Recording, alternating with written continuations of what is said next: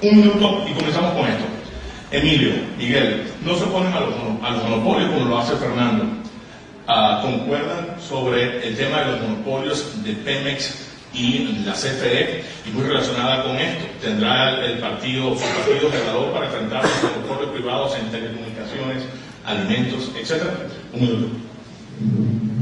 Obviamente sí, hay un compromiso total. Eh, parte del decálogo económico del candidato y algunos subcapítulos mencionan muy claramente qué es lo que se quiere hacer en materia de competencia. Sabemos que el 40% del gasto de una familia de ingreso medio va a beneficiar a monopolios, lo cual también coincido con Fernando, es un tema, pues, una moralidad muy cuestionable. Eh, y en, pero el, tema de energía, CFE, Pemex, pues también está la propuesta del candidato, muchos de ustedes conocen. Hay un tema inclusive avanzado a nivel, nivel técnico y legal de lo que me gustaría que fuese una reforma en el sector energético. Eh, pero sí también eh, comentar aquí con Fernando que a ver si nos explica cuál, qué racionalidad económica hay en construir cinco refinerías en este país cuando hay una, hay una, pues una capacidad instalada a nivel mundial significativa. Entonces, hay, hay, hay, capacidad instalada de acero, de automóviles, de todo lo que quieras. Con este criterio pues no podríamos hacer nada, ¿verdad? Eh, tendríamos que importar todo y tendríamos, pues, no sé, con qué le vamos a pagar si no tenemos empleo, ¿verdad? Entonces, nosotros estamos clarísimos, esto es fundamental eliminar los monopolios privados, las prácticas monopólicas, favorecer a las empresas, eliminar las prácticas monopólicas con todo el peso del Estado. ¿Por qué lo podemos hacer? Porque no tenemos intereses creados, no hay intereses creados en este monopolio. Entonces, nosotros vamos a convertir a Pemex y a CFE en compañías al servicio del consumidor no se van a privatizar, porque no están las condiciones para privatizarse. Más del 64% de los mexicanos, digan lo que diga el Banco Mundial y digan lo que diga la empresa extranjera, o lo que sea, no quieren que se privatice. ¿Y saben por qué lo quieren? Porque todas las privatizaciones anteriores se generaron monopolios privados.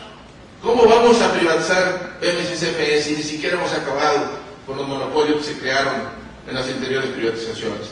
Esa es política central de nuestra propuesta monopolios en una economía liberal es igual a veneno. Si no los quitamos, este país no va a crecer. Hagamos toda la lista de reformas, aunque no les paguemos ni un centavo a los obreros.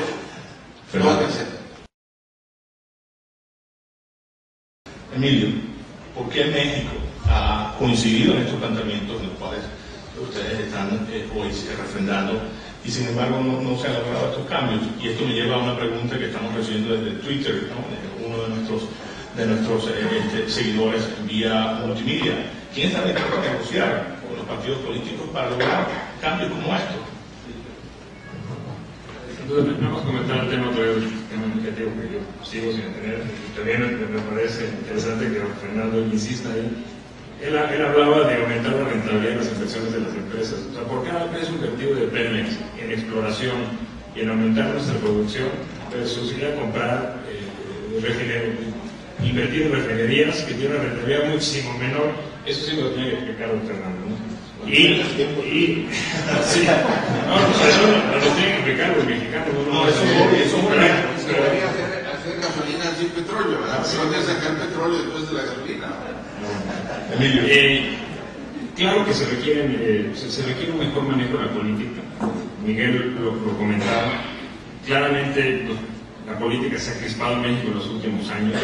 No, no se han llegado a los acuerdos que la sociedad demanda y que el, país requiere para los empleos, los que todos coincidimos aquí. Creo que el tema del empleo ha sido recurrente en este panel. Eh, bueno, eh, claramente se tiene que llegar a consenso, se tiene que hacer buena política y se tiene que tener un liderazgo. Un presidente con una legitimidad pues, cuestionada originalmente, como la que tuvo nuestro nuestro presidente. Segundo, que se enfrentó a los partidos políticos de una forma consistente, pues era difícil que se llegara también a acuerdos. ¿no? Yo espero que la siguiente administración gane quien gane. Esperamos obviamente que gane nuestro partido. Tenga capital político de llevarlo a cabo.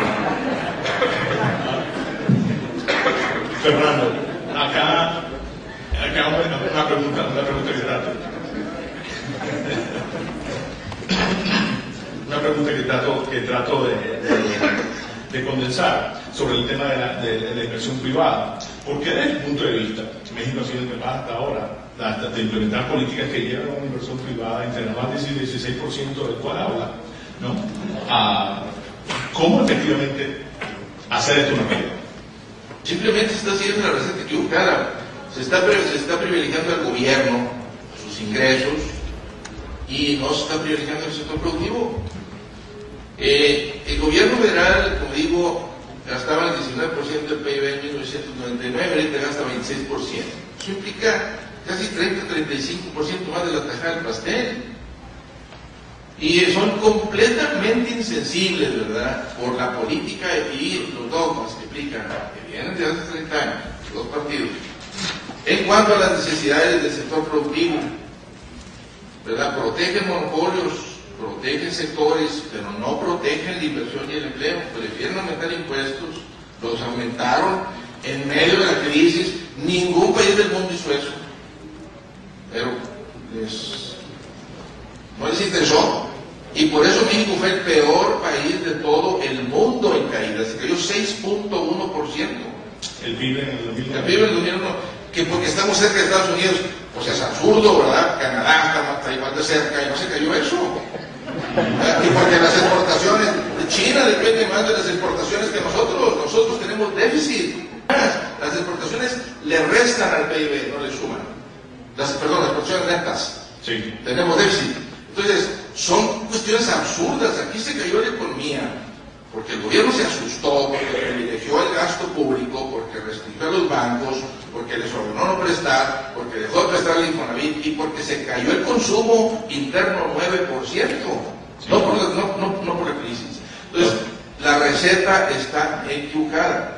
Están poniendo la carreta enfrente de los bueyes y nosotros estamos haciendo al. Vamos a poner, vamos a poner los bueyes por delante.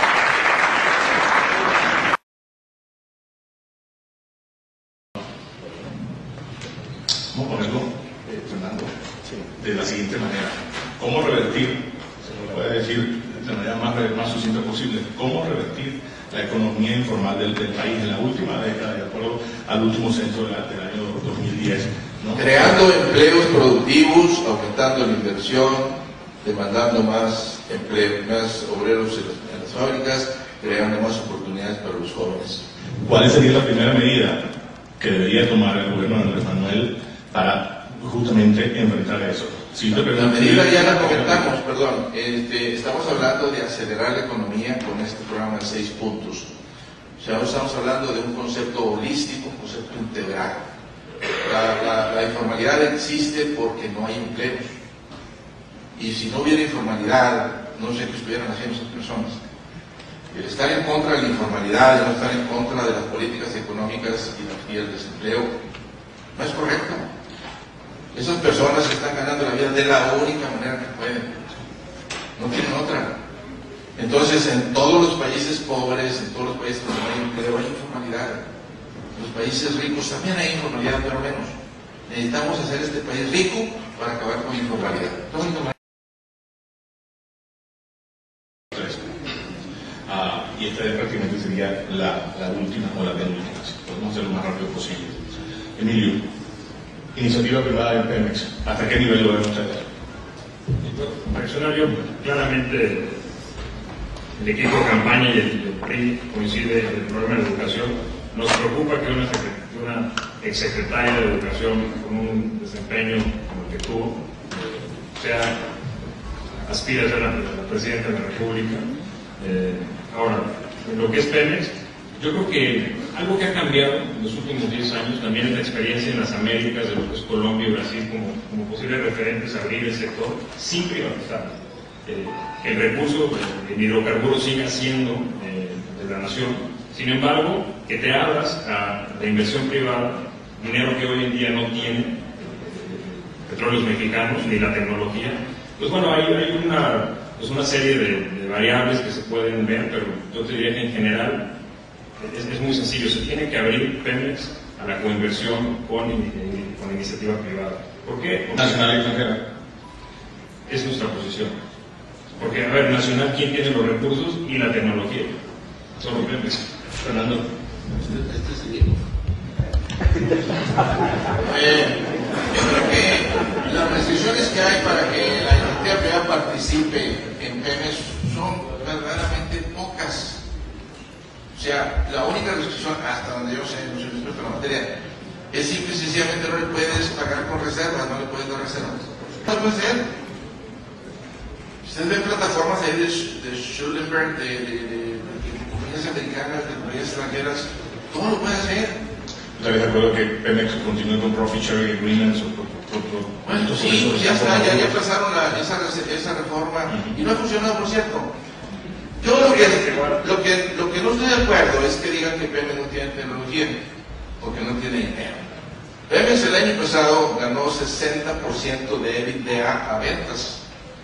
Ganó 240, 250 mil millones, después no me acuerdo. Y Hacienda le quitó 100 mil pesos, 100 mil millones más. Y la dejó. Dinero sí tiene. Lo se lo están quitando como tú dijiste. Entonces, no hay que quitárselo. Y que no tenga tecnología, yo creo que es una. pues. Es, hablar muy mal de, lo que está haciendo Pemex, la cuarta petrolera mundial y de los ingenieros mexicanos. Sí tiene tecnología. Les hago esa pregunta a cada uno de ustedes. ¿Qué piensan regalarle a México? Y les pediría una sola medida. Si llegasen efectivamente a desempeñar un cargo de importancia, de relevancia, sea cual sea, ¿no? en una presidencia, bien sea Enrique, bien sea, bien Andrés o bien sea de, de Josefina, ¿cuál sería ese regalo? Lo más breve posible, una, dos palabras. Yo creo que hay que regresarle al país y no regalarle, hay que regresar al país y a las familias las historias de éxito, las historias de construir un país eh, a base de historias familiares, de éxito, de crecimiento, en base a la inversión, en educación, de oportunidades, una, una igualdad de oportunidades. Eso es lo que, esos son los resultados a los que aspira eh, el Partido Revolucionario Institucional. Ya ya quise aventar unos comerciales del Estado de México la Secretaría de Educación. No sería mal que se revisaran los resultados de Andrés Manuel en el Distrito Federal. El Distrito Federal tiene el nivel más alto de educación, tiene uno de los niveles más bajos de desempleo, tiene unos niveles muy, muy, muy, muy, muy buenos de seguridad, ¿verdad? y tiene bastante inversión privada y finanzas sanas. Eh, Entonces, este, pues solamente para dejar el, el tema ahí. Sería tu regalo, educación. Mi regalo es tiempo desinteresado, es eh, tiempo con amor al país, es tiempo con el deseo de que este país prospere y sea lo que podemos ser. Tenemos todo para ser un gran país y lo vamos a hacer. Yo los invito a que piensen en estas propuestas seriamente, sin apasionamientos, sin fantasmas y sin dogmas, y van a ver que, que esta propuesta que nosotros hacemos es la mejor que hay. Miguel, tu regalo también. Más bien lo que ha venido, eh, lo que ha venido proponiendo en los meses antes de la veda electoral eh, la candidata del PAN es una nueva forma de gobernar con un gobierno de coalición. Bueno, ya lo han escuchado ustedes de viva voz y ha sido pues definitivamente un verdadero placer el tenerlos a todos ustedes acá en el día de hoy. Emilio, Fernando, Miguel, muchísimas gracias por haber compartido este tiempo y gracias a